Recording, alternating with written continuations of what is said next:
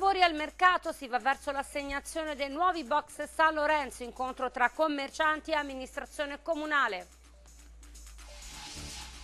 Domani e lunedì si vota per il rinnovo del Parlamento e del Consiglio regionale, tour de forze per l'allestimento dei seggi, nuovi orari per l'ufficio elettorale. Box, Montalto di Castro, Gianluca Branco difende con successo il titolo dell'Unione Europea dall'assalto del polacco Lukas Macek.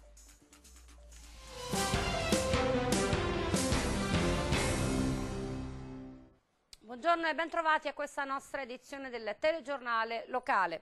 Nuovo incontro giovedì 28 eh, tra amministrazione comunale e tutti i mercatali. Il cantiere è infatti pronto ad essere smantellato e a breve, entro la fine di aprile al massimo, gli operatori del mercato potrebbero tornare nelle loro postazioni originali. Da effettuare però ancora l'assegnazione dei nuovi box San Lorenzo ed è proprio questo il senso dell'incontro che si svolgerà giovedì pomeriggio alla presenza dell'ingegner Mencarelli, del sindaco Tidei, dell'assessore lavori pubblici Mirko Mecozzi e degli operatori. Data l'assenza delle vecchie postazioni, l'amministrazione comunale sta valutando una serie di proposte da presentare agli operatori per accontentare tutti nell'assegnazione delle nuove postazioni, dalla licenza più vecchia alle misure dei box. Decisioni che comunque verranno prese di concerto durante l'incontro di giovedì pomeriggio.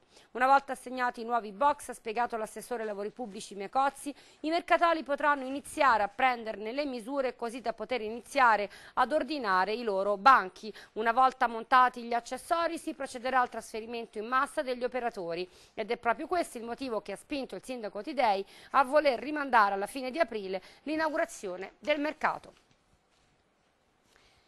Firmato a Palazzo del Pincio un protocollo d'intesa tra amministrazione comunale e Asso Balneari Litorale eh, Nord e Lazio per la costituzione di un tavolo tecnico permanente che porti all'approvazione definitiva del PUA. Scopo del documento fornire un valido e costante supporto all'amministrazione comunale nella scelta da intraprendere onde incentivare, si legge, e promuovere le attività turistico-economiche sul territorio, nonché nella stesura dello strumento normativo e tecnico operativo di disciplina delle attività turistico-balneari. Così facendo amministrazione comunale e asso balneari si impegnano reciprocamente a condividere una proposta del PUA mediante un percorso di lavoro condiviso che dovrà contenere le informazioni e fornire le scelte da attuare da sottoporre all'amministrazione comunale nella fase di stesura del documento PUA e dei suoi allegati.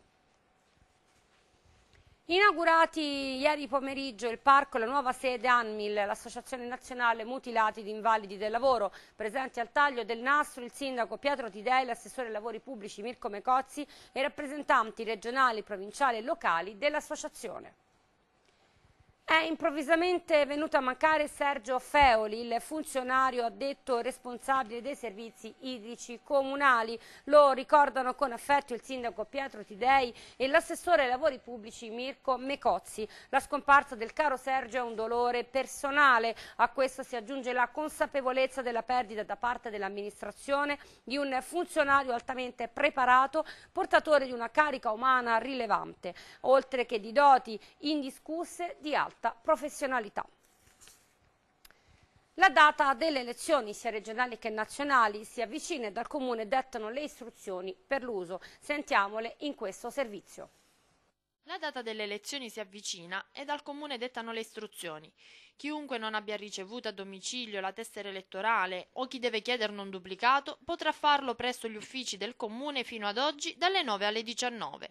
Uffici aperti anche domani dalle 8 alle 22 e lunedì 25 febbraio dalle 7 alle 15. Per poter raggiungere il proprio seggio di voto, il Comune ha istituito a favore degli elettori non deambulanti e portatori di handicap un adeguato servizio di trasporto. Chi è interessato può prenotare il servizio chiamando i numeri 0766 22 86 2 Telefax 0766 59 0502 0766 59 0510 0766 59 056 0766 59 0507 0766 20 28 6 Telefax Oggi dalle 9 alle 19, domani dalle 8 alle 22 e lunedì dalle 7 alle 15. Per quanto riguarda il rilascio delle carte d'identità, gli elettori potranno recarsi presso gli uffici comunali oggi dalle 9 alle 19, domani dalle 8 alle 22 e lunedì dalle 7 alle 15. Il Comune inoltre rammenta che gli elettori non deambulanti possono esercitare il diritto di voto in altra sezione del Comune, rispetto alla quale sono iscritti, previa esibizione di attestazione medica rilasciata dalla ASL nei tre giorni precedenti la consultazione e durante le elezioni dalle 9 alle 12 presso l'azienda sanitaria locale. Confermata la condanna a sei anni di reclusione per Paolo Morra, ispettore di polizia che nel gennaio del 2009 sparò con fucile a pompa al senegalese 42enne Sheikh Moriouf Diou, eh, uccidendolo nel corso di una lite avvenuta in una località di campagna in zona Campo dell'Oro, dove i due risiedevano a pochi metri di distanza l'uno dall'altro. Per lui si sono spalancate le porte del carcere di Rebibbia.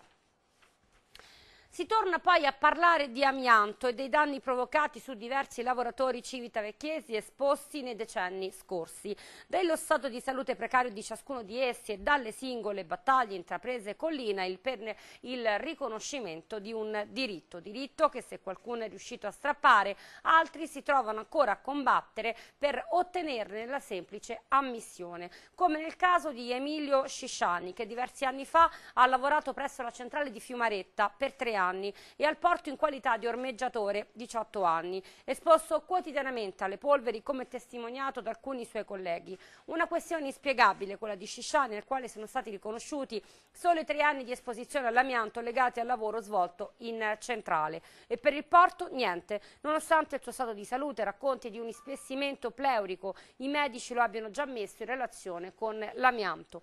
Alcuni enti pubblici, dalla compagnia portuale alla capitaneria di Porto, hanno testimoniato testimoniato a favore di Emilio Scisciani, raccontando il tipo di lavoro svolto presso lo scalo cittadino alla presenza di amianto, ma a quanto pare per la pratica, avviata nel 2003, è destinata a subire una trafila ancora più lunga prima di arrivare a maturazione. I ricorsi presentati dal lavoratore al no dell'INAI le sono arrivati in appello, ora dovrà esprimersi la Cassazione. Ecco come fregare l'amministrazione comunale per evitare le sanzioni previste dal nuovo regolamento sulle affissioni pubbliche vietate. Diverse coalizioni e molti candidati che cercano di farsi pubblicità spediscono i loro attacchini a dar visibilità ai loro volti negli spazi non di loro competenza. Ovviamente questa attività è illecita, ma sotto questo aspetto il Comune non può fare nulla perché partiti e candidati hanno escogitato un sistema molto utilizzato in questa fase e cioè quella di andare a denunciare alla polizia locale il furto dei loro manifesti per poi ritrovarli affissi il giorno dopo nelle aree vietate. Ad affermarlo è il delegato alla affissioni Alfredo De Antonis, il promotore del nuovo regolamento sulle pubbliche affissioni. Contro questi furbetti è difficile erogare sanzioni, commenta De Antonis dal comune di Santa Marinella, perché vanno dai carabinieri o dai vigili urbani e denunciano il furto dei manifesti avvertendo che in caso di affissione loro non sono responsabili. Poi, come spesso accade, gli attacchini che solitamente provengono da Roma durante la notte imbrattano tutto e nessuno paga per queste attività illegali. Fatto sta che questo scherzo costa al comune centinaia di euro. La linea Civitavecchia-Capranica-Orte è un'opera strategica, la testa l'Unione Europea. Lo dicono i vari comitati a sostegno della riapertura della ferrovia dopo il no dell'RFI durante l'incontro con la Presidenza dei Ministri in cui si è discusso dell'hub portuale di Civitavecchia, un'obiezione che i comitati definiscono una sciocchezza enorme.